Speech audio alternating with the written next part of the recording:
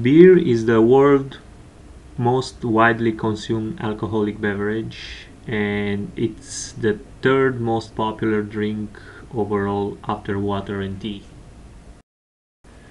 Beer is an alcoholic beverage made from four natural products barley, hops, water, and yeast. It can be alcoholic and non alcoholic. The alcoholic one has about 5% or more alcohol, and the non alcoholic beer is between 0 and 0.5 alcohol. To produce beer, five steps are required. First step is malting, where barley or other grains are dried out and cracked. The main reason for this is to isolate the enzymes necessary for brewers. Next step is mashing and the grains are heated in water to activate the enzymes and release the sugar into the water which transforms into a sticky sweet liquid, liquid called wort. Boiling is the process where the wort is boiled and hops are added to balance out the sugar and provide flavor.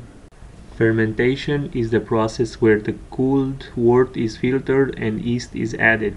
The brewing is now complete and the beer is stored many weeks at cold temperature. Bottling and aging is the process where the beer is bottled and can be artificially carbonated or naturally carbonated via the carbon oxide the yeast produces. Berks County was incorporated in March 11, 1752, annexing portions of Philadelphia, Chester, and Lancaster counties. The area is rich in natural resources and attracted many immigrants who started exploiting the iron. Pretty soon, communities of skilled workers were established in the area, and bars and restaurants started to appear. Beer is one thing that gathered people together, and it always been with us to joys and sorrows. Many people start brewing their own beer and couple of them started their own brewery business. Henry Eckert established the first brewery in 1763 at his house in Reading. The brewery changed owners over time and was closed in 1827. Others have opened breweries at their houses in the face of increasing demand, but none of them lasted too long on the market. John George Lauer started in 1824 a small brewery outside Reading in village of Womelsdorf.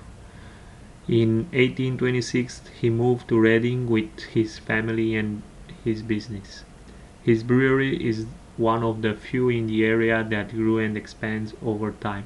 After his death in 1835, the business was taken over by his son Frederick, who extended the business gradually. Frederick Lauer ran the brewery his entire life and was the first president of United States Brewers Association. During the Civil War, he founded an entire company at his own expense.